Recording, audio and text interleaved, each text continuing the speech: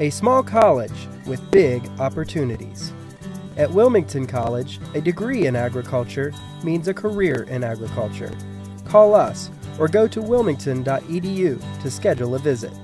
We hope to see you soon. Welcome back to our fifth and final recap of this year's Ohio FFA State Convention. This afternoon we had the opportunity to take back to the streets and get to know some of our members a little bit better. Here with Mitchell Swanger, who's currently slated for the District 6 president position and also the vice president of the Ohio FFA Association. So, Mitchell, how are you feeling right now in that you have about two hours until you find out the results? It's just so nerve wracking. Like, it's so excitement. I'm, I'm ready to get this whole thing started. It's just amazing to know that this possibility is actually happening.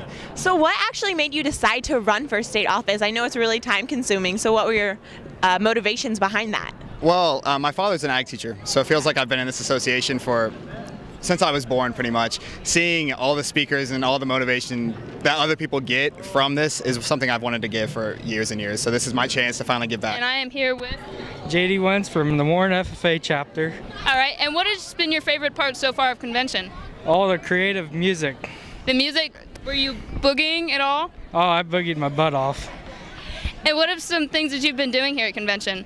Well, we visited the State House and uh, went toward uh, Ohio State Ag Campus. How was all that?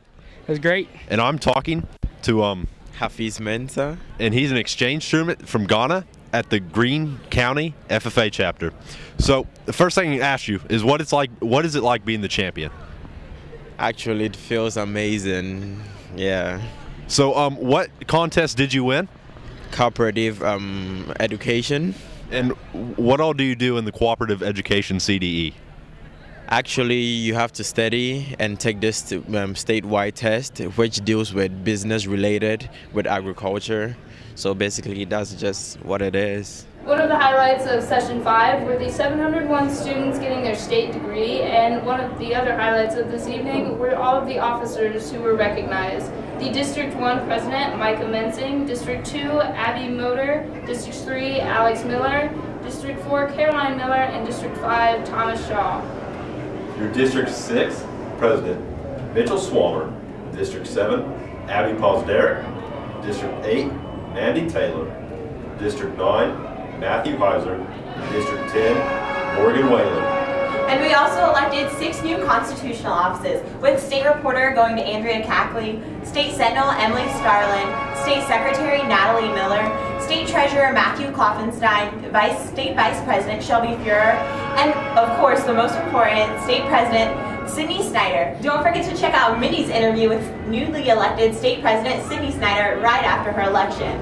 And for the Ohio AgNet, we'd like to thank you for watching all of our session recaps of the 86th Annual Ohio FFA State Convention here in Columbus. For the Ohio AgNet, I'm Michaela Kramer from Botkins.